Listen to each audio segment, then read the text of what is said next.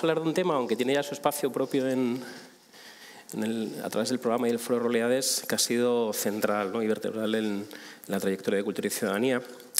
Y, lo vamos a hacer con, con, las personas que tengo a mi izquierda. Eh, en primer lugar tenemos a Ancho Lorenzo, que es director general de Cultura de la Junta. ¿Eh? Muchas gracias, Ancho. A continuación a Alfredo Puente, que también nos ha acompañado en el trayecto ¿no? de pensar y, e impulsar este tipo de iniciativas desde los orígenes. Alfredo Puente es el director artístico, comisario de la Fundación Cerezales Antonio Nicinia, donde celebramos precisamente el primer foro de cultura y realidades, ¿no? que, que, que tanto creció después.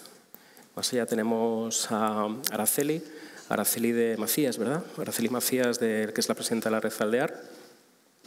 Y por último tenemos a Yago, hay algo de Ergosfera, no tengo el apellido, pero bueno, Yago, te lo tenéis ahí en el Yago Carro, ¿no? Él es eh, arquitecto, urbanista y también activista cultural y social. Gracias eh, a todos y todas por, por estar aquí. Y, bueno, eh, creo que una de las decisiones más importantes, extrañas en aquel momento, pero también disruptivas, cuando arrancamos Cultura y Ciudadanía en el 2015, fue poner al lado de los grandes proyectos, ¿no? O de los proyectos más visibles que ocurrían en las grandes ciudades, Madrid, Barcelona, Bilbao, Sevilla, poner al lado iniciativas muy pequeñitas ¿no? que ocurrían en pueblos muy pequeños, ¿no? casi siempre invisibilizadas en, el tipo de eventos ¿no? que promueven las grandes instituciones de este país. ¿no? Esa decisión, insisto, fue muy importante y creo que ha determinado muchas formas también posteriores de pensar y hacer ¿no? que desbordaban lo estrictamente o lo que representaba estrictamente el medio rural. Eh, la segunda edición de, Cultura y Ciudadanía pues, justamente la dedicamos a, la idea de territorio, ¿no? de cómo el territorio, bueno, cómo, cómo recuperar ¿no? Eh, una serie de prácticas, herencia, memoria, patrimonio, formas de pensar y ver el mundo que en las últimas décadas habían quedado absolutamente desdibujadas ¿no? por, por, esos procesos exacerbados de globalización ¿no? que, que, concentraban todo, aparentemente todo el pensamiento, ¿no? el pensamiento y la producción cultural en las grandes ciudades. Y a partir de 2017, pues decidimos ¿no? crear un espacio independiente que fue Cultura y Realidades, mm, con su raíz en el propio foro, ¿no? que nos sirvió para, para bueno, indagar ¿no? y poder pensar conjuntamente el, desarrollo ulterior del programa. Y en, en el 2007, 2017, en 2016 hicimos Cultura y Ciudadanía Territorio, 2017 el primer foro, y a raíz del foro pues, bueno, se fueron sucediendo una serie de iniciativas que le dieron muchísima más vitalidad y vida al, programa de realidades, como fueron Rural Experimenta, el laboratorio que hicimos con Media Lab Prado, una serie de publicaciones que tenéis ahí, por, los que no, por aquellos que no conozcáis el programa bien, como sobre todo pensar y hacer en el medio rural prácticas culturales en contexto, ¿no? que es una publicación que, que conseguimos sacar, bueno, pues publicar y sacar y finiquitar aprovechando el confinamiento. Las cartografías también, que han sido muy importantes para eh, situar, ¿no? localizar y visibilizar toda esa serie de prácticas que ocurrían en el medio rural español y europeo.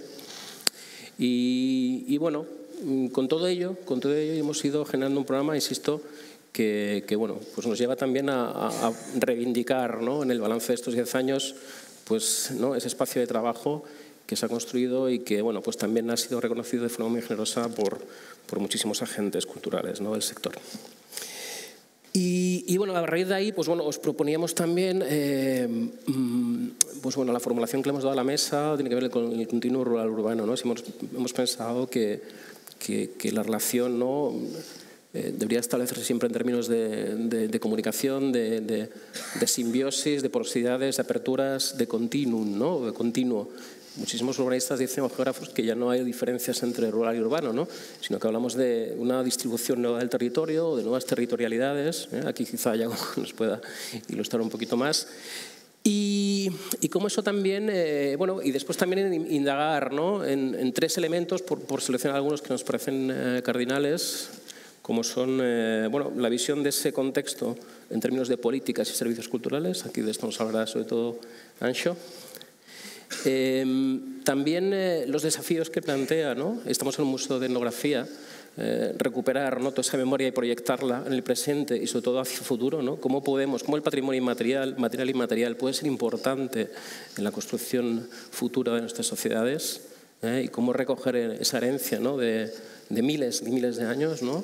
Eh, esto es importante desde de la revolución neolítica, pues bueno, pues hemos construido un universo de prácticas y de imágenes y de, formas de habitar el mundo que es muy importante poder seguir proyectando. Seguro que muchas de ellas son todavía válidas para, para los retos que tenemos por delante.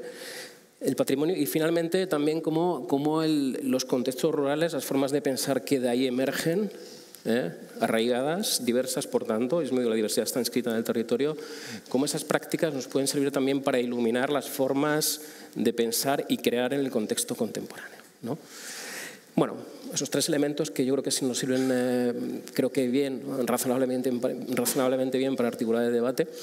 Y, en primer lugar le di la, la palabra a Ancho. Ancho, cuando quieras. Muy bien. Bueno, muy buenas tardes, buenas tardes a todos y a todas. Gracias, Benito. Antes de nada, por la, gracias por la invitación a poder estar aquí en, esta mesa y, poder, en fin, aportar eh, algún tipo de reflexión dentro del marco que Benito acaba de, trazar, que es relativamente amplio. Con lo cual, bueno, yo eh, voy a ser relativamente eh, voy a seguir un poco las instrucciones, pero también me vais a permitir que, bueno, que haga diferentes aperturas y que no me centre estrictamente solo en el marco rural de las políticas públicas en el ámbito rural, sino que, bueno, que haga alguna eh, digresión, alguna reflexión un poquito más, un poquito más amplia. ¿no? Evidentemente, yo no soy un, ni teórico ni soy gestor cultural, quiero decir, no soy como muchos de los que estáis aquí, sino que me dedico a, a, las políticas públicas y con lo cual voy a hablar básicamente y voy a comentar lo que tenga que comentar a partir de la experiencia como, como gestor, bueno, como político y desde el ámbito de las políticas públicas, desde, desde Galicia, obviamente, y desde el, Gobierno de Galicia, desde la Junta de Galicia. Yo sí que quería introducir un par de cuestiones para, para, comentar que me parecen especialmente importantes cuando se trata de abordar el hecho de la, de la política pública o de las políticas públicas respecto de los, de los contextos rurales. ¿no? Y es que, eh, en principio, las políticas que, que hacemos eh, están siempre muy pensadas en los, en los destinatarios, en los ciudadanos, en las personas, pero que evidentemente esas personas habitan territorios determinados y por lo tanto la variable territorial siempre está muy presente en, la, en las políticas que, llevamos a cabo. Y pensando sobre todo en favorecer con esas políticas el, el acceso, favorecer la creación y favorecer, por supuesto, que, que esas acciones, que esas iniciativas que llevamos a cabo sean lo más inclusivas y lo más accesibles que favorezcan la, que favorezcan la, accesibilidad. Eh, cuando hablamos del, ámbito rural no estamos descubriendo América ni la, pólvora, que decir, se lleva muchos años, mucho tiempo por parte de diferentes entidades, operadores, eh, administraciones públicas, empresas eh, culturales, interviniendo en lo rural, ¿no? en, los ámbitos rurales. Es decir, que no estamos lo que sí, eh, seguramente eh, coincidiremos todos en que de un tiempo a esta parte el, rural como objeto y como destinatario de nuestras políticas es un aspecto especialmente de preocupación y de reflexión. Eh, porque seguramente en el ámbito de las políticas públicas, culturales obviamente, lo urbano siempre fue relativamente más fácil de abordar y de, planificar y de llevar a cabo iniciativas y de poder armar desde lo urbano eh, proyectos de cierta transformación, proyectos tractores que se mantenían en el tiempo y que por lo tanto le daban a esa política cultural eh, mayor eh, fortaleza desde lo urbano. Y desde un tiempo a esta parte lo rural preocupa, ocupa y se considera algo que debe ser un objeto específico de la acción de las, políticas públicas. Más allá, como digo, de, muchas iniciativas y de acciones que, de manera a veces seguramente eh, desarticuladas o, poco articuladas, eh, se llevan a cabo. Y algunas de ellas, de luego, muy importantes, muy interesantes para eh, esa presencia de lo cultural en los ámbitos rurales. Como digo, yo creo que de un tiempo a esta parte eh, lo rural pasa a ser un objeto preferente y un aspecto de, reflexión y de preocupación específico. ¿no?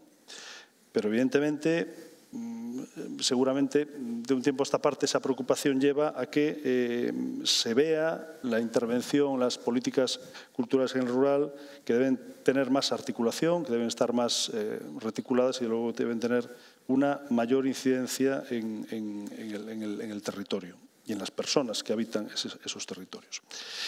Eh, comentaba Benito en su introducción ahora eh, cuestiones que yo creo que, tienen que ver con, los, con lo que se ha hecho, mucho que se ha hecho en estos últimos años para conocer mejor y para eh, lo, cultural en el rural, desde aquí, desde este encuentro de cultura y ciudadanía, desde el foro Ruralidades o esa, creo que no lo mencionabas, pero que me parece que también es una iniciativa de calado en estos últimos años, eh, años, que ha sido precisamente esa disponibilidad de fondos europeos para eh, realizar diferentes intervenciones por parte de las comunidades autónomas con la ayuda de los fondos europeos distribuidos desde el Ministerio de Cultura eh, para eh, llevar a cabo en estos últimos años, desde el 22 hacia aquí, algunas comunidades autónomas aún este año 24, eh, esas intervenciones, cada una con su denominación, pero en todo caso, en el caso de Galicia, de la, denominación fue Territorio Cultura, que permitió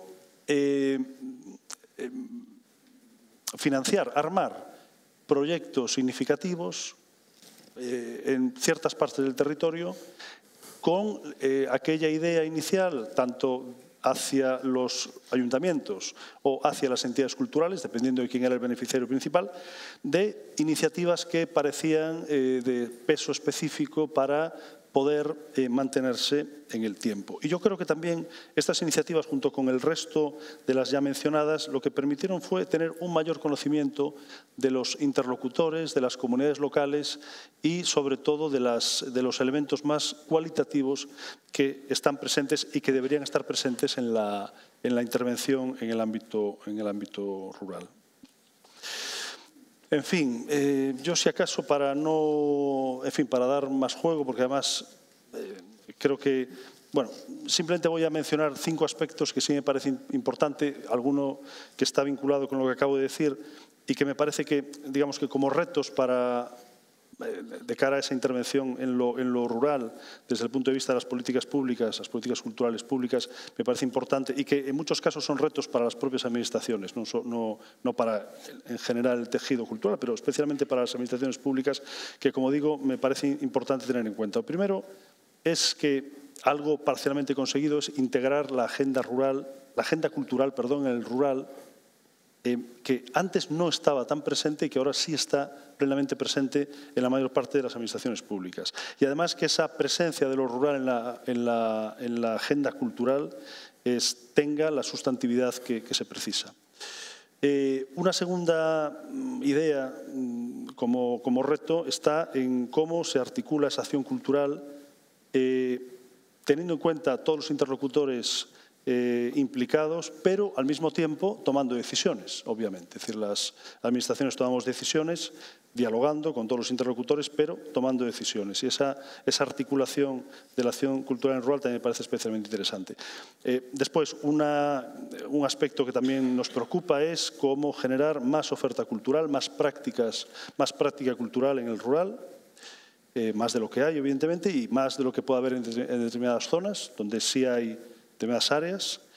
Eh, después, otro aspecto cuarto importante para mí es conocer bien el público del rural, porque sí es cierto que eh, en este mundo que vivimos, muy interconectado y, donde eh, podría parecer que, realmente hay una, hay una, cierta homogeneidad también en los públicos, como puede haber homogeneidad en otros aspectos, pero me parece y, de las experiencias que, tenemos, que el público rural, del rural, no es exactamente el mismo que otros públicos. Bueno, en definitiva, respecto, por ejemplo, a los públicos urbanos.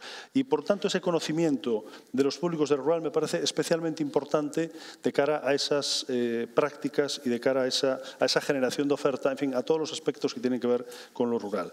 Y, finalmente, un quinto aspecto que me parece muy importante. De la misma manera que en gran medida las políticas públicas urbanas, eh, culturales urbanas, se han centrado en, eh, uno de los aspectos en que se ha centrado ha sido el diseñar proyectos culturales tractores, tractores en el sentido de consolidados, eh, relativamente bien articulados, con cierta, financiación y, que, con capacidad de permanencia y también de captación de públicos y de generación de, de iniciativas y de dinámicas que, permanezcan, que permanecen en el tiempo, me parece que es muy importante también ser capaces de pensar y de incitar cómo eh, generar esos mismos proyectos culturales tractores en el rural, con toda la dificultad que tiene. Yo creo que obviamente mucho más la generación de los proyectos, esos proyectos tractores en el rural a diferencia de en el ámbito urbano. Y yo si acaso lo dejaría aquí, Benito, para después seguir comentando. Gracias. Muchísimas gracias, Ancho. Eh, sí, la verdad que puntuar dos cosas, ¿no? Simplemente, eh, para aquellos que no conozcáis el, despliegue de los fondos Next Generation estos dos, años, que van a ser tres en algunas comunidades autónomas, podéis consultar la página Ecosistema Cultura Territorio. Se han financiado hasta el momento más de 500 iniciativas, ahí tenéis casi todas punteadas y un amplio espacio de recursos para aquellos que deseéis seguir profundizando. ¿no? Ecosistema Cultura Territorio, eh, gracias por recordarlo, Ancho. Y, después otra cuestión también fundamental, ¿no? que es que la agenda cultural rural debe estar ya desde siempre y para siempre presente en las estrategias de desarrollo territorial. ¿no? Eso es clarísimo. Nosotros hemos hecho un esfuerzo muy grande eh, en, que el Ministerio de Cultura, sobre todo a través del Programa de Cultura y Realidades y otras iniciativas ¿no? conexas, eh, forme parte de la estrategia nacional frente al reto demográfico. ¿no? Hemos hecho un esfuerzo ingente en estos últimos años y por fin, ¿no? desde el Ministerio de Transición Ecológica y Reto Demográfico, han entendido ¿no? el, papel, eh, el papel fundamental ¿no? que tiene la articulación cultural, que es simbólica, pero que también es material de nuestros territorios en el contexto del siglo XXI, ¿no? con todos los problemas de vaciamiento, población, etc. ¿no? Entonces, bueno, esa, esa, idea de que por fin la cultura tenga que ser central en este tipo de estrategias me parece clave ¿no? y es un logro, creo, de estos últimos años. Eh, continuamos con, con, con, Araceli, Araceli Macías, entre otras cosas. Ah. Sí, seguimos este orden. Vale. Sí. Ella es, como decía al principio, la presidenta actual de la Red Aldear, una red de, de proyectos culturales aquí en el rural gallego. Araceli, cuando quieras. Vale. Oye, chama pies, pensé que iba él, orden. E eu trouxe unha presentación, non sei se a podo ver. Ou onde se ve. No, perdón, me he equivocado. Iba Alfredo, lo siento, sí. Iba él. Iba él, sí, sí, sí. Sí, porque eu aprendi un número, dixeron unha cuarta Sí, por favor, crea este orden que me han marcado. Vale. Sí, en, en, el esquema que hemos planteado al principio eras quizá tú. Sí, estaba. Lo siento, Alfredo, te toca. Alfredo, eh, Fundación Cerezales. Bueno, pues buenas tardes a todas, a todos.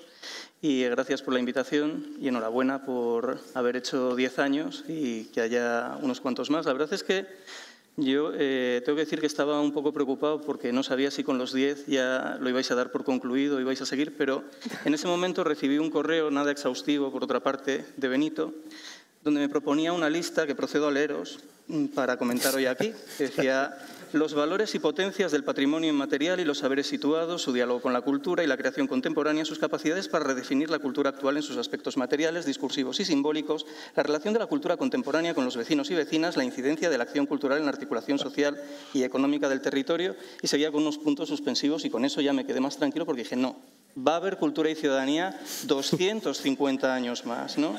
Nos va a dar tiempo a desarticular un montón eh, todas estas categorías de inicio, de lo rural y del urbano. Y tengo que decir que tenía esta presentación, pero después de la intervención de Ancho, no sé si enzarzarme ya directamente con Ancho, porque esto está pasando un poco a, a puerta fría. Nos estamos conociendo aquí, pero Ancho, ¿te parecen muy distintos los públicos del rural, estos compañeros míos, de los públicos de, de otro tipo de escenarios, de las ciudades y demás. No, hombre, no somos los mismos y con las mismas necesidades y con los mismos tipos de criterios y con los mismos accesos eh, a contenidos en muchos casos, pero con algunas eh, desigualdades. Pero lo podemos seguir hablando luego. Bueno, que eh, buen rollo, ¿sabes? pero mesa debate. Pero pero vamos, yo lo que quería deciros es que todas estas cosas que me proponía Benito para hablar y que creo que son pues, muchas muy pertinentes y que nos llevarían semanas, meses, años o lo que fuera, eh, encontré una pequeña idea eh, que sigue siendo muy poderosa en movimientos, eh, movimientos ecologistas que iban trabajando muchos años y que era la idea más transversal que yo seré capaz de compartir hoy aquí. Y además me siento muy, muy agradecido a que hayan existido tantos colectivos batallando por algo que es tan simple decir como aire limpio, tierra fértil y agua potable. Nosotros nos dedicamos en la Fundación Cerezales a intentar trabajar por crear imaginarios que puedan dar continuidad a esas tres, esas tres materias. ¿no? Y creo que en esas tres materias se reúnen y se encuentran muchas continuidades del título de esta mesa, eso que hablábamos de eh, dónde está la continuidad entre lo rural y lo urbano. Estoy bastante de acuerdo con Yago, que le conocía también estos días, en que quizás eh, lo rural es una palabra que ha ido perdiendo mm, determinado sentido, sobre todo a partir de la desaparición del campesinado como clase y de los imaginarios que, produjeron eso en nuestra, en nuestra mente. Y lo que voy a intentar es contaros de manera muy breve para poder seguir en este debate desde donde trabajamos en, la Fundación Cerezales. ¿no? Em, bueno, mm, si hiciésemos un pequeño ejercicio de, de, vamos a llamar, de autoetnografía, yo os tendría que decir que trabajo en un equipo de, unas personas increíbles, varias de las cuales son nacidas y residentes en el pueblo donde, donde nosotros estamos ubicados, que es un pueblo de unas 25 personas aproximadamente. Eh, algunas personas del equipo eh, han nacido en pueblos y se han ido a ciudades y otras personas del equipo hemos nacido en ciudades y cada vez nos hemos ido vinculando más a, a los pueblos, ¿no? a ese pueblo en concreto. Y creo que eso es un espacio lo suficientemente híbrido, lo suficientemente, no, sé si atreverme eh, a utilizar la palabra, y aquí hay entre el público, conozco más especialistas en ello, eh, la palabra un poco queer como, como equipo raro, eh, no, no, no, tan convencional como para abordar una idea no ortodoxa de lo que significa estar en un espacio como ese, que es un espacio de los grises, un, un lugar que está a unos 25 minutos de León, que tiene muchas tensiones derivadas todavía de lo que significa el sector primario, que tiene personas que, eh, como diría Marc Badal, eh, pues eh, ya no utilizan los caminos para ir a las huertas para encontrarse, sino que van en, coche, y eso significa determinadas transformaciones de tiempo, y que es bueno, pues un, un espacio donde las categorías de las que partíamos ya no están operando exactamente como las teníamos en la cabeza. ¿no? Y em, bueno, algo de todo eso eh, se ve quizás ya en, esta imagen, ¿no? de, esto que os decía, de poner en, primer término esa idea de aire limpio, tierra fértil y agua potable. Porque lo que estamos haciendo aquí, en esta imagen, desde, desde una institución cultural, es rehacer una sebe que nos había tirado un buey. Yo no sé si, conocéis lo que son las sebes. Las sebes son muros vegetales eh, que se pueden ver de varias formas. Se pueden ver como a lo mejor nos las mostrarían determinados museos, y no quiero mm, señalar a ninguno, que también hay algún director amigo de museo por aquí entre, entre el público, eh, más romantizados, eh, más nostálgicos y demás, o se pueden ver como una herramienta de futuro, como un escenario de futuro, como un corredor eh, para la biodiversidad, donde habitan mamíferos, donde habitan polinizadores y donde se puede construir y se puede anclar un cierto escenario de, futuro, no dejarlo solo en el terreno de, la hipótesis. Em, creo que tampoco es demasiado necesario que hagamos un repaso a nivel administrativo porque ha salido un montón eh, estos días de cuál es el valor que el aprendizaje de lo que significa hacer una labor de esas características y que viene, hay un patrimonio material eh, que está operando, pero también hay un patrimonio inmaterial que nosotros hemos aprendido de las vecinas y de los vecinos que están en ese pueblo, que han tenido una vez más la generosidad de enseñarnos, pues sí, claro que ese patrimonio inmaterial tiene que formar parte de los ODS, de los Objetivos de Desarrollo Sostenible. Creo que se ha hablado estos días de todo ello. Parece que están en el, eh, punto 11.4 de, de esos eh, objetivos. Claro que eh, son un sujeto político, económico y, social que opera y que contribuye a crear determinados valores en la sociedad y que eso además repercute en determinadas eh, en la necesidad de crear y de pensar determinadas estéticas que nos ayuden a, resimbolizarlo, ¿no? a construir los símbolos de todo eso que, seguimos necesitando. Hay algo que es bastante, mm, bastante intenso en, las conversaciones que tenemos como equipo eh, en la Fundación, que es que eh, quizás un poco de manera contraintuitiva nosotros no pensamos que el mundo esté lleno de imágenes, sino que estamos más bien carentes de ellas y pensamos que las imágenes siguen siendo un espacio necesario de articulación de, las sociedades. Bueno, dentro de, todas estas cuestiones y en otra, otro aprendizaje que tiene que ver también con este lugar donde llegamos hace 15 años y que es la idea de que, eh, lo decía Marcos Menéndez en, uno de los primeros talleres que hicimos, si sola no puedes, con amigas sí, eh, hemos eh, incorporado ese tipo de metodología, ¿no? ese tipo de metodología que está presente en estructuras y en modelos de gobernanza que han estado presentes en estos sitios y que por lo menos a nuestros ojos siguen siendo vigentes y siguen siendo espacios de proposición, espacios de democracia directa, como pueden ser los concejos, o espacios como este que estáis viendo ahora, esto es un filandón, pero que es un modelo de, patrimonio inmaterial, de reunión del vecindario, de construcción, de cohesión, de construcción de imaginarios. Este corresponde eh, a un proyecto de la Fundación Caraso eh, que nos pidió eh, poder albergar una de, sus sesiones. en este filandón se hablaba sobre el lúpulo en, una zona que tuvo miles de familias viviendo de, ese cultivo. Y es un proyecto que se llama Ecologías del Lúpulo, que lo dirige una artista que se llama Susana Camaraleret y que nosotros hemos seguido cultivando. Igual que las personas de estos vecindarios nos han acogido en sus casas sin ningún tipo de, problema, pues hemos tratado que la institución sea siempre casa para todas ellas, disolviendo en muchos casos muchos de los códigos que suelen estar escritos en, los contratos. Yo inicialmente no trabajaba los sábados, eh, pero mm, un programa como Ascender Abierta que recoge otro modo de hacer, como son las hacenderas que tienen... Eh, pues, eh, espejo en muchos otros lugares de todo el territorio nacional, como son los ausolanes en, eh, Euskadi, los tornayom en, Valencia, esos modos de trabajo comunal, bueno, pues tienen formatos asamblearios de, tomas de decisiones. Desde la institución lo hemos asumido y el formato asambleario de la Cendera decidió que se reunía los sábados cada 15 días. Bueno, pues hubo que hacer la transformación de nuestros contratos para que pudiéramos atender a esa, situación. Y eso habla también de... Eh, de la idea de querer formar eh, vecindarios y formar parte de, los vecindarios. Y digo yo, y esto de nuevo, Ancho, te miro, pero como una situación propositiva, eh, si nosotros, que somos una institución privada, lo podemos hacer, el mundo de la cultura en España, que está articulado en favor de lo público y así debe ser y así debe de continuar, lo puede hacer también, este tipo de transformaciones, y creo que es interesante que podamos hablar de ello. ¿Decías, Benito? Un minuto, vale. Eh, bueno, voy a pasar muy rápido por todo esto y siguiendo con la idea inicial que os decía, esa idea transversal que reúne todos los medios, que reúne todas las materias, que reúne todos los procesos, ese aire limpio, tierra fértil, agua potable, que quiero que se os grabe en la cabeza cuando salgáis de aquí, que miréis el mundo desde ese, desde ese espacio.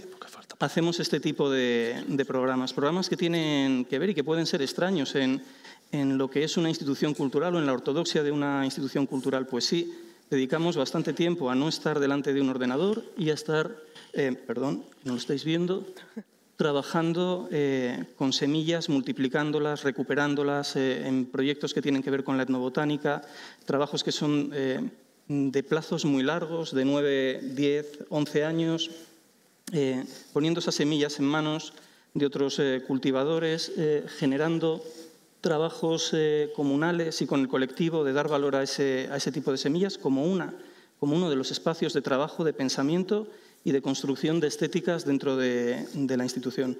Os voy a poner un minuto, que es el que me deja Benito ya en este pues, momento, eh, simplemente para que veáis un, un trozo de un vídeo, eh, un pequeño fragmento de un vídeo, corresponde a un proyecto que se llama La Balsa, tres actos para una intemperie. Es un proyecto que hicimos durante tres años y medio con un artista que se llama Abelardo Gil Fournier. Yo creo que empieza ya. Y que mm, eh, habla de la construcción de estéticas en relación a la continuidad de todos estos procesos, de todas estas materias, de todos estos flujos, más allá de que eh, nos planteemos esas categorías iniciales de lo rural o lo urbano. Yo creo que este es un proyecto que habla muy bien de ese aire limpio, tierra fértil y agua potable. Y hasta aquí.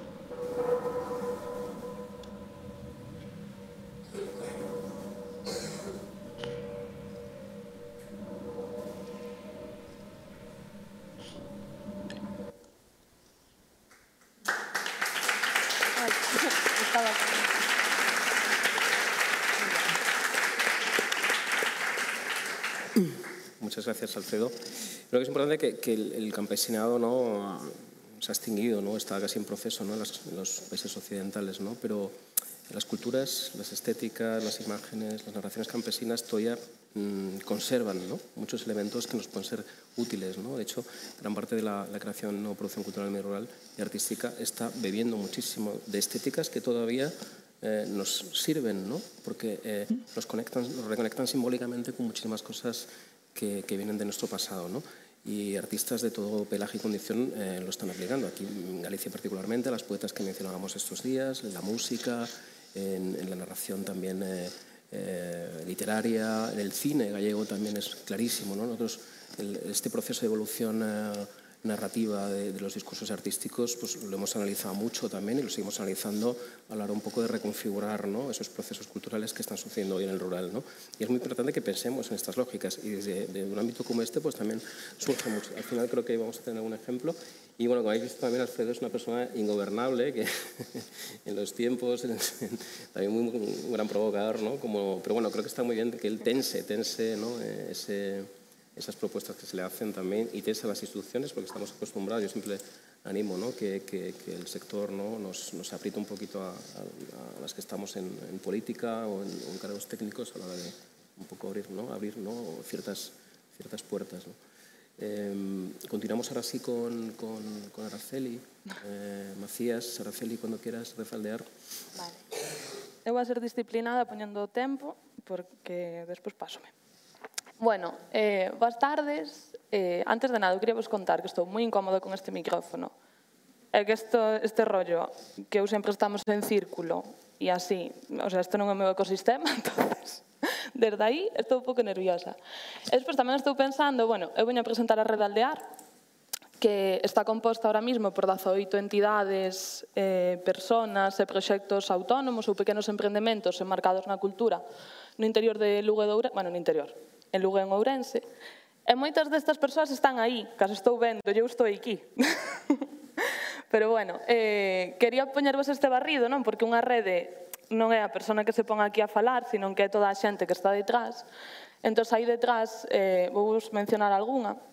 Está a Casa Bella en Amiadoso, non? con Nuria Sotelo, que fai danza contemporánea, e que fixo das veciñas de Amiadoso, que un, non sei se sabes onde queda Anxo, é un pueblo da Llariz, Eh, esas señoras ahora son expertas en danza contemporánea. Están chegando o sea, os espectáculos de maior nivel. Eh, está os levando Nuriali, está Uxio, bueno, a Fundación Uxio Novoneira, non hai desde o Courel, facendo un traballo increíble de dinamización e de propostas culturais. Está a Palleira, que non sei onde está por aí Noel, está aí Noel. Ahora síntome como cando a da orquesta presento aos músicos. Pois estes son eu, a da orquesta e eles os músicos. Bueno, pois a Palleira, que é un espazo que está cerca de Sarria, que é un, bueno, pois unha palleira pequeniña que ten propostas culturais e formación e así. Está a Fundación Legar por aquí, que van a abrir agora un museo en, no Courel con máis de 1.200 instrumentos de música de raíz, eh, financiado por turismo, vou dicir isto. Eh, que me falta? Está Carlota tamén, que está por aí con Sacra Experience. Bueno, que hai un montón de, de persoas non que están aquí que están aquí comigo, eu que formo parte de Utonía, que son educadora social e nunca entendo que fago aquí con esta xente. Eh, ben, pois cal é a proposta da rede, da rede Aldear?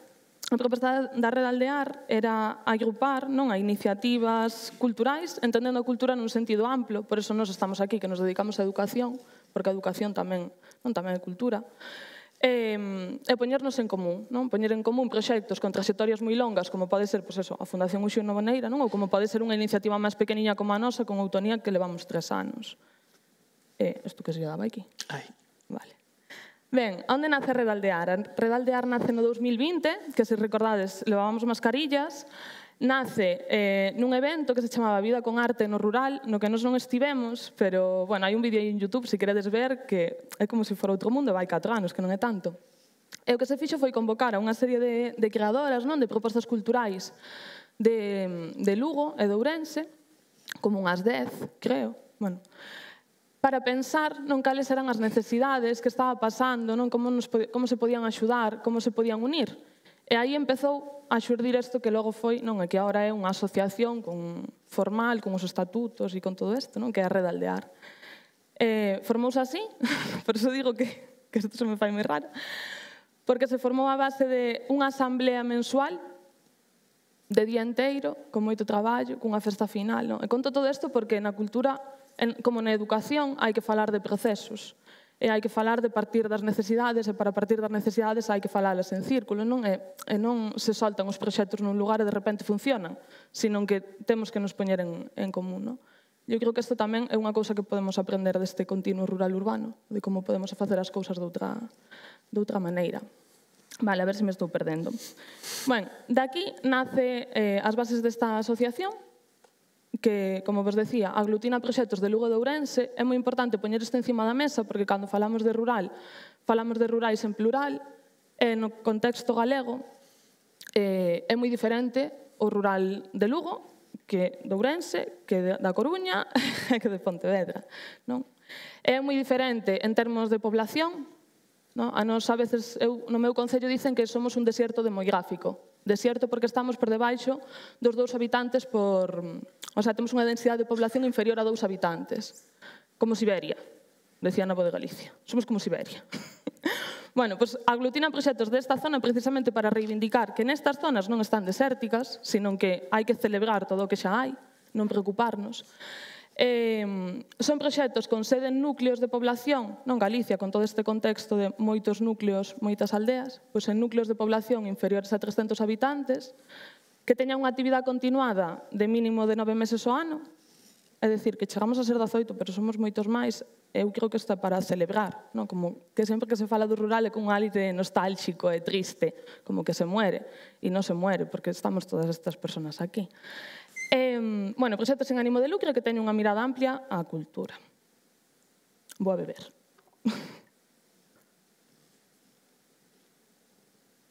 Vale. Ui, vou moi ben, cinco minutos. Vale. Eh, no 2022, se si non me equivoco, Desde a Red Aldear puxemos en marcha este programa, Aldearmos, non? Recordemos, no 2020, mil millóns de asambleas, mil millóns de reunións, tata, constituye esa asociación, e decidimos, ui, que guai, esta red vamos a montar este proxecto. E isto, bueno, eh, foi un proxecto moi bonito, eh, bueno, isto non chamase Programa de Dinamización Comunitaria Rural a través de propostas interdisciplinares. É un pouco a proposta, no marco destes fondos que decíades, non? dos Next, Next Generation, pois foi levar eh, este programa alugue Ourense, non? a donde hai moitas propostas que non chegan. Entón tiña tres patiñas que nos considerar, considerábamos que cando hai que falar de cultura tamén hai que falar destas cousas, pois tiña unha patiña que eran as itinerancias, que eran programacións culturales que se levaron a máis de 12 municipios, e donde participaron máis de 1.500 personas. Estas itinerancias foron, alia... foron programacións culturales que se aliaron con outras asociacións e entidades do territorio, non? como Desde esta lógica de non chegamos ca programación feita, senón que aquí xa hai xente facendo cousas, entón por que non nos xuntamos? Tiña a patiña da a compaña, que era unhas, bueno, xornadas como de formación e asesoramento para promover proxectos que quixeran establecerse no rural, que a veces pasa isto, non? Como que queres chegar ao rural e non sabes moi ben como. Estaba aldear na escola, que aí estábamos as educadoras, como é que aldear tamén ten que chegar ás escolas, porque as crianzas, os nenos e as nenas das escolas non se imaginan no rural. Eso hai que, non? Eso hai que traballalo, como que estereotipos están operando para que non se imaginen quedar aí. Bueno, xa acabo. Cando Benito nos pasou un correo, ese correo titánico de moitas preguntas e moitas cousas, decíanme, bueno, carencias, potencias, necesidades, non sei que, non sei quanto. Vou a resumir, vale. Eh, desde a Red Aldear, como que identificamos ou, sí, bueno, identificamos unha das principales carencias que é o tempo estamos na sociedade do cansancio, non temos tempo, non? Como non hai tempo xa para nada, as axendas están todo o tempo cheas, e isto, de alguna maneira, impacta na, nunha rede, non? algo que pretende ser rede. Como soster unha rede cando os proxectos, a súa vez, están loitando para sosterse? Non? como facemos eso sin apoio institucional? Non? Como, como facemos isto? Entón, esa que quizás sería, ahora mismo, non? como a, a maior carencia ou barreira, non? Como, como esta sociedade do cansancio. E como potencia dunha rede como esta, é que de repente onde nos decían que non había nada, non? aí en Lugo en Ourense, que está lonxísimos, moi lonxe, está todo isto, Pois aí de repente había un montón de proxectos que tiñamos moitísimas cosas en común e que de repente nos podíamos aliar e que de repente eu podía facer algo no espazo do outra e que de repente ahora nos chamamos, nos programamos unhas ás outras, non nos, nos axudamos, que é do que vai un pouco un pouco isto. E nada, xa quería acabar. Ui, sí que me pasei muchísimo de tempo. E eh, acabo. Con esta frase de Anxo Moure, que sempre di, e que a nos na Red Aldear non sona moito, que cos auditorios están feitos bueno, bueno, en castellano, xa que traducí. Los auditorios están hechos con el mismo cemento de los tanatorios o de las cárceles, así que el poder alternativo tiene que apostar por todo esto, que es otra manera de mirar. Si vivimos en una sociedad democrática, la ciudadanía de Garabelos no es menos que la de Compostela, Lugo o Vigo. No? E aquí Anxo pues, fala un pouco de... Bueno, xa entendedes. Desa outra maneira de mirar que igual é a que podemos falar agora. Gracias e perdón. Gracias.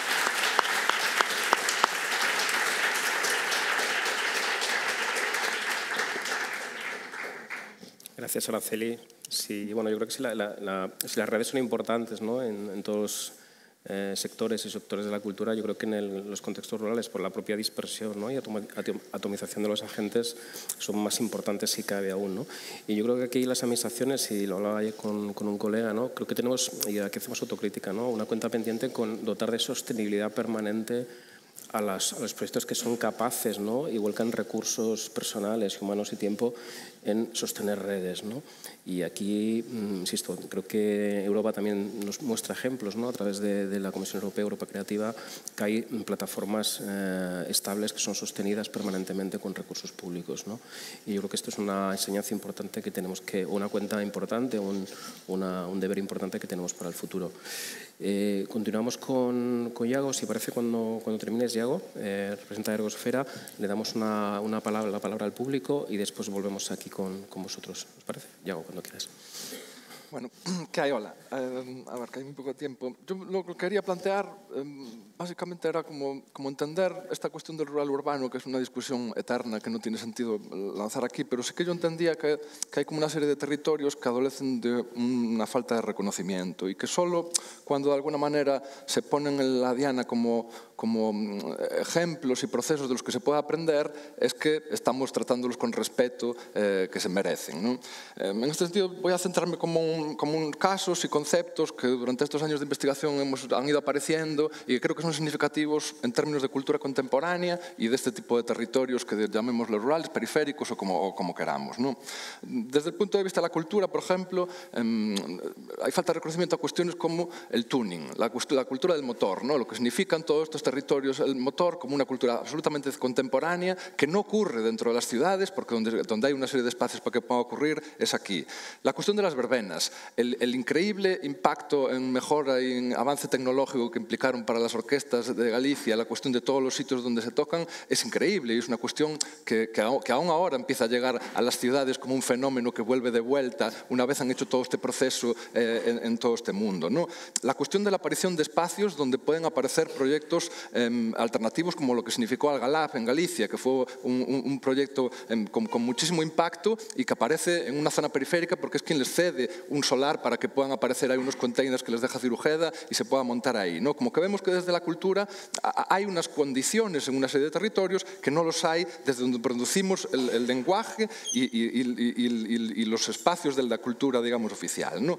Esto hila, como, pues, por supuesto, con muchísimo con uno de los proyectos que, que, que, llevamos muchos años con él, que es la cuestión de, de enfrentarnos a la idea del feísmo ¿no? en Galicia, que es como, como, como ese target que, el, que el, tanto la Junta de Galicia como el periódico más subvencionado y hegemónico, que es la de Galicia, pues llevan 20 años machacando la cuestión de, del feísmo, ¿no? que es una cuestión en la que sobre todos los procesos hay muchísimas cosas que aprender. Nosotros fuimos como destilando seis conceptos. ¿no? Uno es el de la reutilización, ¿no? el, de, el de poder entender que, que, que, que entre las, igual que el acero, la piedra o la madera, entre las materias primas de nuestro espacio-tiempo está la basura y la reutilización de objetos. Otro es el incrementalismo, el, el entender cómo la forma, de forma eh, racional y gradual, pero no lineal, de evolución de los procesos eh, eh, es, y de colectivos, abre como muchísimas otras vías que en otras formas. ¿no? También nos habla del, del valor valor y de la potencia de lo inacabado, que es uno de los grandes enemigos de la ley del suelo, por ejemplo, pero que sin embargo se vehicula con, con, con las viviendas unifamiliares incrementales que se van produciendo según tenemos los recursos y, y, están al margen de la cultura de la deuda, por ejemplo. ¿no?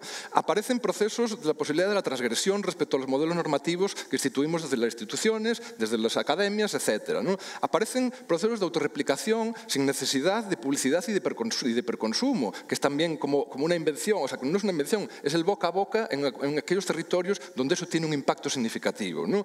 Aparece la cuestión de la representación de las subjetividades y los deseos ciudadanos en la esfera pública a través de la, de la autoconstrucción, que nos da muchísimos más datos de quién vive en las casas, de cómo son los territorios, que cuando lo hacemos los arquitectos o los técnicos, que lo homogenizamos todo de otras maneras. ¿no? Aparece la cuestión de la manipulabilidad, en plan de cómo estos territorios que son eh, más autoconstruidos y procesuales son mucho más manipulables y por lo tanto transformables, flexibles, accesibles a otras maneras de pensar y de mundos. ¿no? A través, aparecen también nuevas formas urbanas que no inventamos de las ciudades. Las carreteras calle, que es una, una forma urbana de, de, urbanización del territorio gallego que no puede pasar en otros sitios por la, porque aquí tenemos una dispersión territorial pero muy entrelazada y en estas calles aparecen formas urbanas que nada tienen que ver con las ciudades y de las que podríamos aprender mucho a ver cómo, cómo avanzamos, qué tipos de cultura eh, pasan ahí, etc. O la cuestión de los tejidos de edificación discontinua, que le llamamos feísmo porque aparecen medianeras y somos incapaces de ver que, la, que la medianera siempre es un reflejo de una ausencia que es potencialmente programática dentro de las ciudades, que son eh, rayos de luz, que son usos alternativos que aparecen en estos sitios vacíos, etc. ¿no?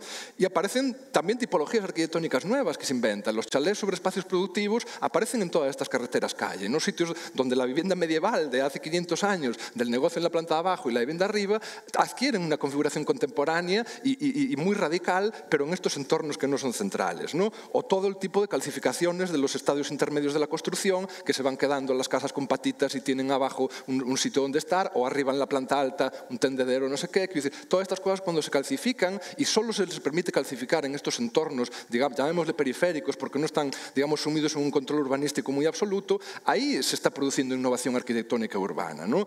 O por no hablar de por qué no le damos importancia a la parada de bus, por ejemplo. La parada de bus en muchos de estos contextos es la única figura de lo público que aparece en, en, en muchos pueblos, en muchos pequeños núcleos, es un lugar de reunión que excede con muchísimo su funcionalidad de parada de bus y que por lo tanto es un espacio que debería ser tratado así en términos culturales y en términos infraestructurales por los poderes públicos, o, o, o incluso cuestiones como, como, los bancos en las casas, quiero decir, mm, que, que para nosotros el, el banco que aparece en la casa, que es el último sitio donde alguien que va perdiendo movilidad sigue manteniendo un contacto con el espacio público, que es una de esas cosas siempre reclamadas, por ejemplo, desde el feminismo, Eh, es, un, es un espacio que aparece más en este tipo de territorios que en las ciudades, quiero decir, y es una pieza radicalmente urbana que, sin embargo, la identificamos como un mundo que entendemos como rural. Entonces, todo este conjunto de cosas creo que son simplemente maneras de mirar hacia estos territorios diferentes y que en cuanto tú los pones a mirar de una manera que puedes aprender, es en el momento en el que, se, al menos desde mi punto de vista, se establece un respeto. Y en cuanto se establece un respeto,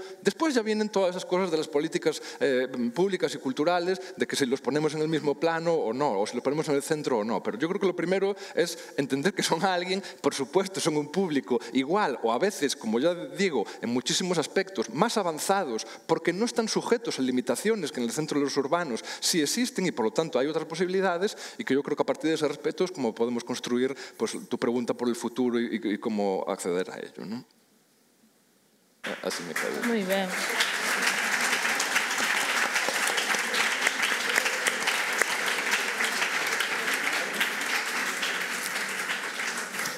Bueno, muchas gracias, Yago. Nos has dejado noqueados de las, todas las posibilidades ¿no? Que, ¿no? No, que están detrás de, de ese, ¿no? del concepto del feísmo gallego, ¿no? pero que, que, que, al final palpita un, un mundo de, de, estéticas que son diferentes y formas de, de producción material que, que, están ocultas ¿no? por términos a veces que simplifican demasiado. Y la verdad que no, bueno, pues ha sido muy súper esclarecedor toda esa digresión que has hecho. Eh, aprovecho que tenemos 10-11 minutos y abrimos una, una palabra o dos para el público para también ¿no? alimentar ¿eh? la conversación que tenemos aquí. Eh, bueno, vamos, tenemos dos, ¿no? Que identifico. Una allí, Usío, y otra eh, por allá. Si queréis recogemos las dos, sí. Carlota. ¿no? Y Carlota, sí. Dale, Usío. Bueno, eh, simplemente, buenas tardes. Saludar esta mesa, saludar que en el décimo encuentro de Cultura y Ciudadanía también haya una parte para los territorios rurales, aunque sean por el continuo que hay entre los territorios intermedios. Eh, saludar también vuestros encuentros de vuestros foros de cultura y ruralidades que pienso que nos han puesto a dialogar a toda a todo a todo el estado sobre el sobre sobre el tema que nos compete que pienso que es el, el más interesante el más interesante de todos para la gente que vivimos en los territorios remotos. Saludar eh, una, la, lo primero además de la, de la intervención clarísima de de nuestra, de nuestra presidenta el, una, un, un, problema que veo un problema que, que, que, que veo que es que el, el, primer problema que veo de conceptualización es que los, los territorios rurales no son todos iguales y en eso, en eso nuestra presidenta os lo dejó bien claro en el, en el dispositivo. Nosotros trabajamos con, en territorios donde, eh, de, donde son aldeas de 300 habitantes. Muchas veces la Unión Europea, ahora para como todo todo rural aquí trabaja en, diciendo que los territorios remotos eh, son los territorios que están a 50 kilómetros de núcleos de población de 50.000 habitantes. No entraría ni la Fundación Antonio Nicinia.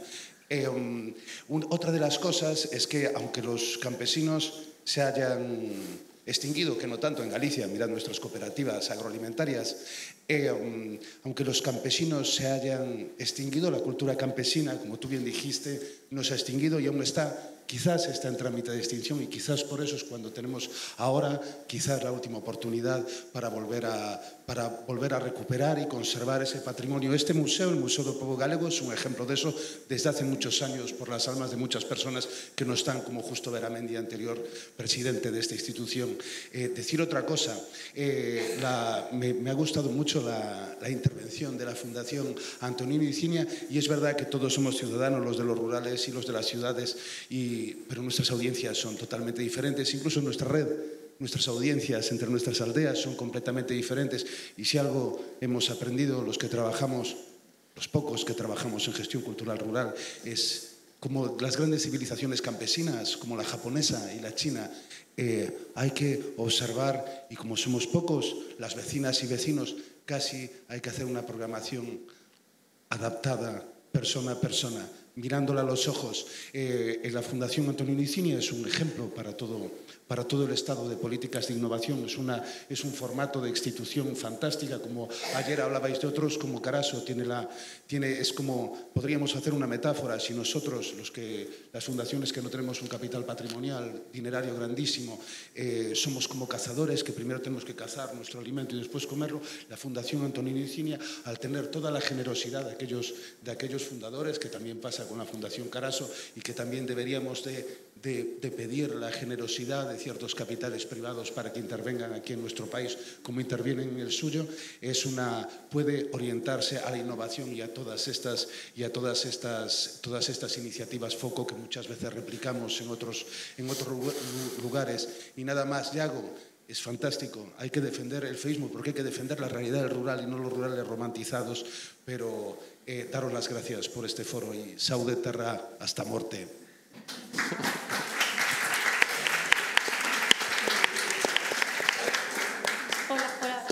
Bueno, yo me llamo Carlota y, y, también estoy en Aldear. Gracias ahí por representarnos, porque esa labor tampoco es tan fácil estar ahí en ese lugar.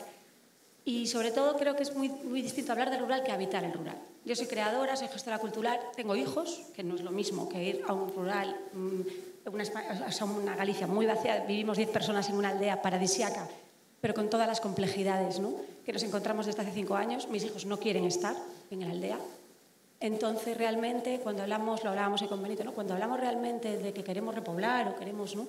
trabajar verdaderamente una acción cultural en el, en el, rural, tenemos que hablar a largo plazo y, desde luego, tenemos que pensar en los niños. Y tenemos que en una educación en el rural. Y para eso hay, para mí, dos cosas básicas. Es el transporte. O sea, el rural no tiene transporte del pueblo a la aldea, que eso para mí es una complejidad tremenda. Yo no tengo carne de conducir, por ejemplo. Y entonces, cuando nuestros hijos tengan 14 o 15 años, no van a poder ir, ¿no? Van a querer, bueno, no quieren estar allí, pero por lo menos les damos la opción de ir a otros lugares. Hay un problema de formación artística tremenda, ya no solo en las aldeas, sino en los propios pueblos, y eso es una cuestión donde creo que la institución debe estar presente. Creo que debemos dejar de enfadarnos y colaborar la institución con el creador, porque os necesitamos, o sea, es evidente, por todas nuestras infraestructuras, por todo lo que también da la institución. Yo soy positiva a ese nivel pero sí que creo que sin el transporte, lugares que todavía no tienen agua, es muy complejo. O sea, hay que ayudar y hay que poner, por favor, económicamente, buses otra vez si queremos repoblar. La Ribera Sacra está todo comprada, o sea, se han comprado todas las aldeas. Pero ¿cómo vamos a hacer si no tenemos cómo llegar a ellas? ¿Cómo la señora mayor, que ya le quitan el coche, no puede llegar? Y luego hay un problema gravísimo, sobre todo con la gente inmigrante, de alquiler en el rural. Yo tengo el privilegio de haberme podido comprar una casa, pero como yo hay no sé, el 5% de la sociedad. La gente quiere vivir en el rural, pero no puede. Entonces hay que dar ahí, yo creo que opciones o hacer unas estrategias comunes de colaborar con las señoras mayores que tienen las casas vacías, que les podemos dar también una opción de alquiler con familias.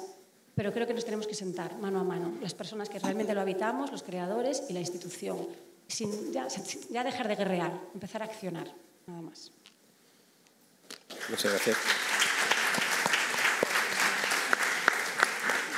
como nos queda, como nos queda muy poquito tiempo, ¿eh? Eh, os voy a pedir la última intervención, por favor, y a vosotros alguna réplica muy breve también, porque os quería hacer una última pregunta, ¿no? aprovechando los dos últimos minutos. Sí, por favor, ahí cuando, cuando quieras. Hola, yo me llamo Ana, gracias a todos los ponentes, y mi pregunta va para Ancho, en representante de la Junta. Eh, hablando de todos estos proyectos, estas iniciativas, por ejemplo, de las que comentaba Araceli, ¿no? en red, en, el rural, eh, pensaba en La Ulloa, que es una zona de Galicia en la que hay un montón de proyectos que llevan muchos años eh, trabajando duro y saliendo adelante a pesar de todas las dificultades. Está ahí el agroqueer, está Kerko Sonora, está Sonda Aldea, un montón de iniciativas que se están viendo ahora amenazadas con la posibilidad de que Altri instale una macrocelulosa allí. Entonces me pregunto cómo la Junta puede hablar de proyectos culturales en el rural duraderos y que puedan generar impacto, que estos lo generan. Están, son todos proyectos que están consiguiendo hacer que gente se mude a esta zona, a la Ulloa. Entonces me pregunto, ¿qué cree la Junta que va a pasar cuando se instale la macrocelulosa de Altri, si es que se instala, con estos proyectos? ¿Y cómo se puede sostener esta idea ¿no? de, de, de mantener este tipo de proyectos y a la vez apoyar la instalación de esa macrocelulosa, que sería, por si, nadie, por si alguien no, no está al tanto, la macrocelulosa más grande de Europa. Una de ellas. Gracias. Gracias.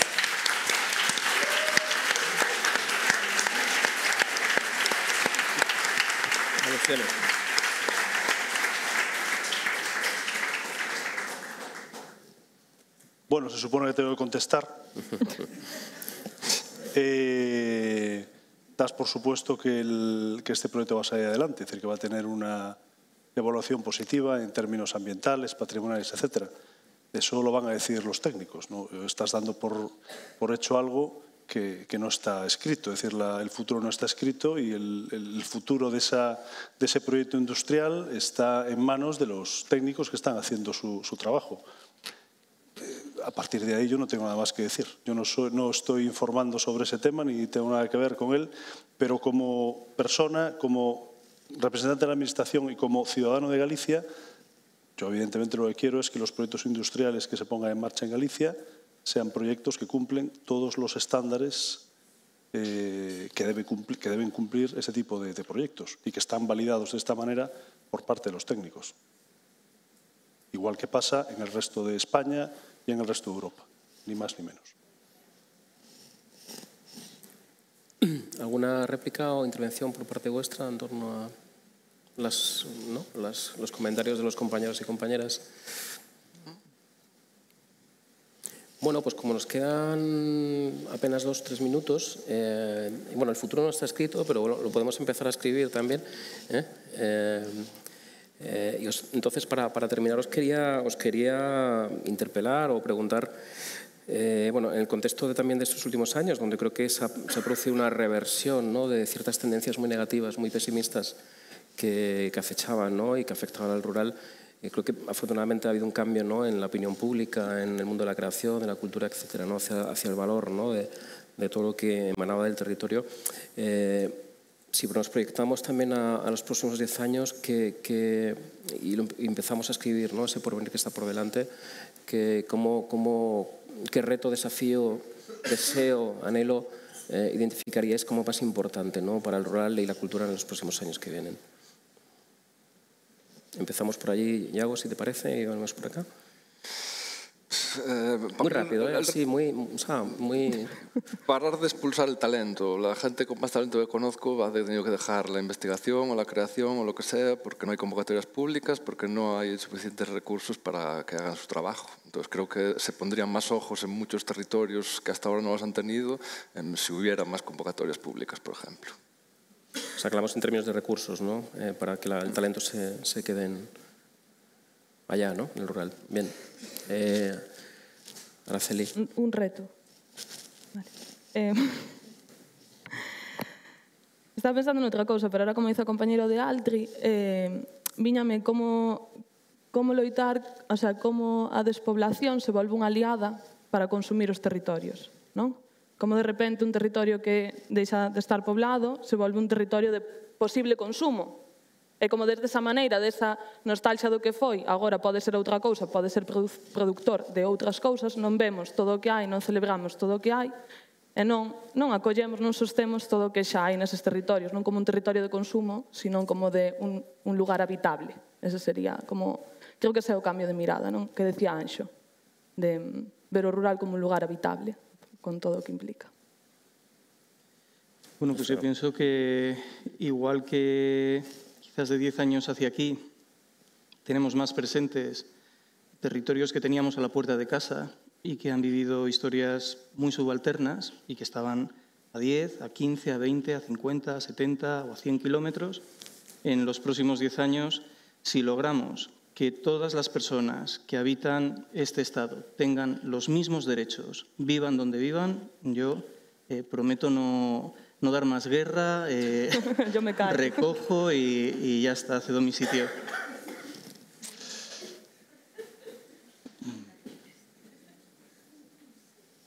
Eh, bueno, yo esas preguntas, como ya las habías pasado y las habías, habías comentado que ibas a hacer estas preguntas, había, realmente había, había preparado varias opciones y después del contexto de hoy, pues la verdad es que no sé por cuál, porque había visto varias.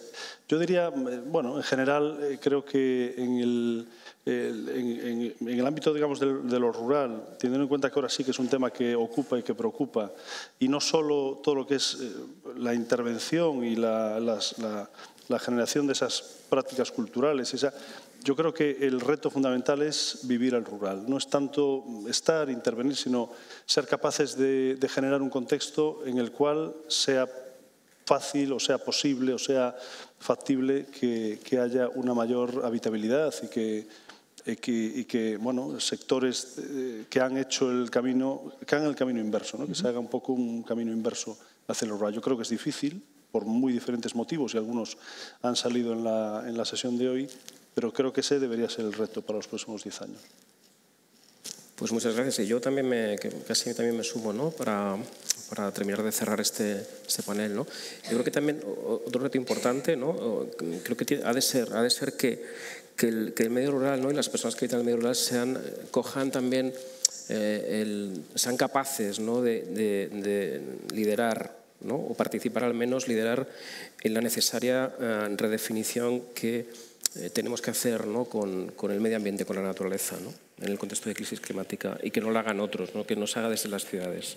¿eh? Esto que tiene que ver con una imaginación política nueva, una imaginación social, una imaginación artística también, y en definitiva una imaginación cultural, ¿no? y, y que sean los habitantes del medio rural los que sean capaces de liderar, ¿no? porque al final eh, eh, la persona que habita el territorio es, es la que mm, observa, ve, sufre y también padece ¿no? las catástrofes también o las- los desajustes, los, sí, los desajustes y, y los efectos negativos que provoca ¿no? la crisis ecológica y climática. ¿no?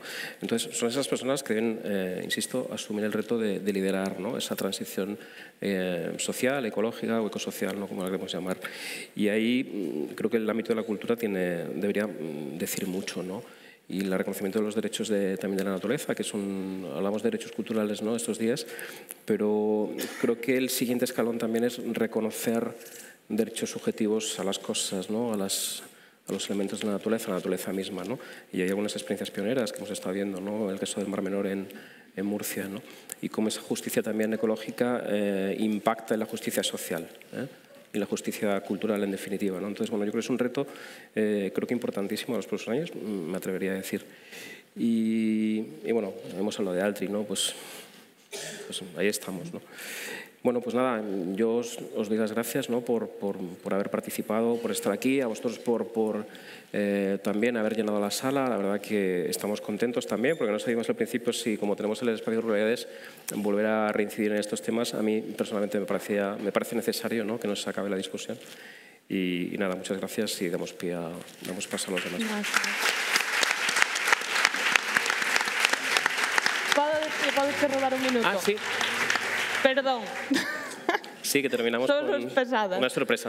Pero as miñas compañeras da Fundación Legar trouxeron aí uns instrumentos de raíz que nos falan moito de como non sei como Xavier fai, bueno, facían de calquera cousa un instrumento, non? Que estamos así tamén nunha cultura moi excelente de tal, e antes tocábase con calquera cousa.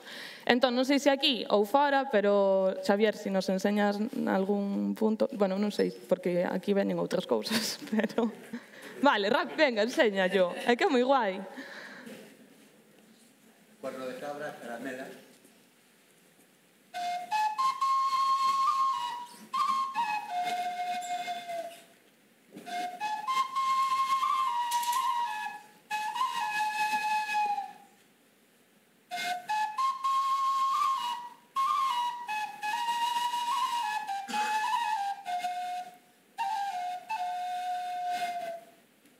Déixame colle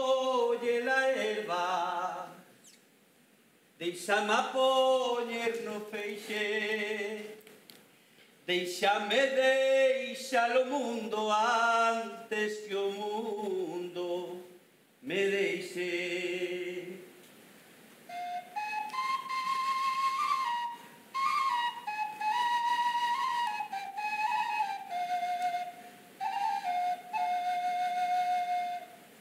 Gracias, Bien.